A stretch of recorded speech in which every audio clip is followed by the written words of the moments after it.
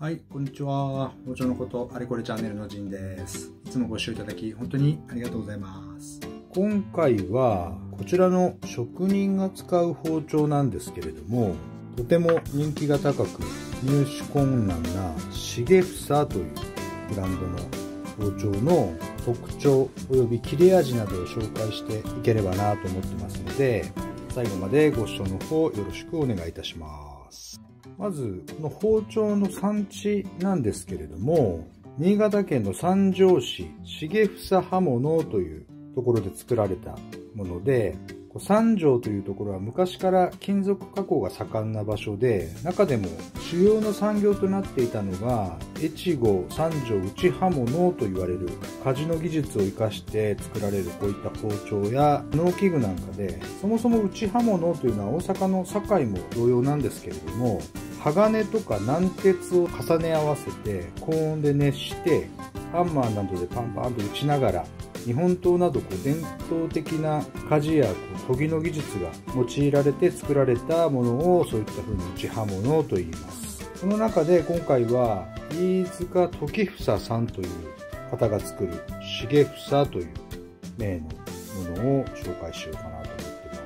飯塚時房さんは名将とか名工と言われる師匠に従事してですねおよそ50年前ぐらいですかね、独立して包丁作りを続けてこられた超名人です。現在は伝統工芸士としてもご活躍されていますけれども、包丁作りはこう分業制といってですね、堺なんかである鍛冶とか研ぎとか絵付け師とかそういったものが全部こう分業でやられているところとは違ってですね、一貫体制といって鍛冶から最後の研ぎまで全部一つの工場でやるんですよね。その季節や状況に合わせてこう一本一本丁寧に調整して作られるので鋼を使った包丁作りでは最も優れた技術の持ち主かなと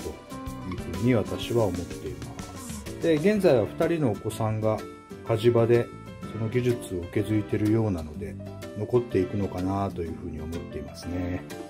で続いて包丁の特徴なんですけれどもちょっと見にくいですかね。こう北エジと言いまして、正目の縦の模様が入っているんですけど、一般的にはダマスカスというものと同じようなものなんですけれども、包丁の素材としては、こういった本焼きの包丁、これ鋼だけで作られているんですよ。こういったものって切れ味はすごく良いんですけれども、お高くなってしまうので、えっと、霞という包丁でですね、このところにこう、線が入っていると思うんですけれども、この先っぽの方は鋼になっています。で、こっち側は軟鉄といって、重ね合わせたものを焼いて打ち込んでるんですけれども、こういった霞の包丁は、まあ、切れ味は鋼の部分なので、切れて、なおかつ研ぎやすいという、軟鉄は少し柔らかいので、そんな特徴があって安価に抑えられるという風な感じなんですけれどもこの北エジというのは軟鉄と鋼を重ね合わせたものを木のとこに入れてあからめて打つ。でまたこう折り曲げて打つ。折り曲げて打つっていうのを繰り返してこういうふうに正目の模様が出ている包丁になっています。でこの効果としては、まあ、見て美しいというふうなこともしかりなんですけれども包丁が軟鉄と鋼の強度の問題で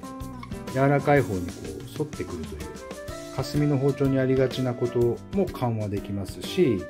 本焼きにある研ぎにくいというふうなことも比較的考慮されて研ぎやすくなっているというふうな利点があります。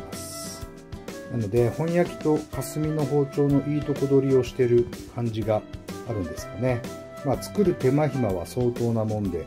それゆえたくさん製造ができないということで、高価になっているというよ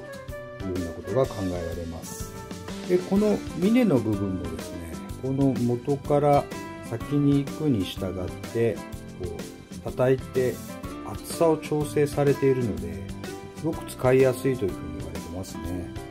で、価格なんですけれども、こちら刃渡り27センチ、北エジ、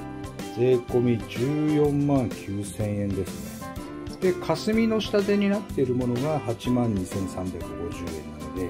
倍とまではいかないですけれども、それに近い価格差があります。では、この包丁で刺身の柵でも切ってみましょうかね。どんな感じか。では、こちらをちょっと切っていってみたいと思います。こ腹の方の身ですね。見てわかりますかねこう筋が斜めにこういう風に入ってるので、繊維に垂直になるように切っていかないと筋が残ってしまうと。で、と身が柔らかいなと思ったら平作りこういうな形で身を厚めに切って厚みで食べてもらうとでちょっと鮮度のいい場合はカルパッチョとかそういったのでそぎ切りにすると。そんな感じになってますね。何のストレスもなくスパッと切れますねやっぱり。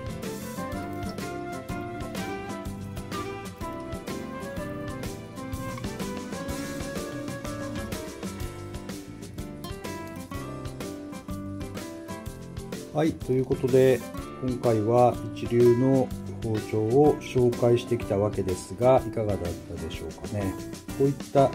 古き良き職人さんが作る包丁は技術出来栄えともに中品ですよね。それゆえにこれらを継承していくっていうこともすごく大変なことなんでしょうけれども重房さんは息子さんが継いでいらっしゃるので安心なんですけれども文化の継承は現在では大きな課題になってますね。包丁に限らず。なので今後は使用する側も作り手の思いや努力などを理解しながら真実というものを見極めてですね良いものには良いなりの理由があるということを理解して日本の文化をみんなで守っていければいけない時代になっているのかなというふうに思っています、まあ、今回紹介させていただいたこの重房さんの包丁もうもう現在は大量のバックオーダーが入っていてですね注文しても届くのが何年先になるかわからないというような状況になっているようで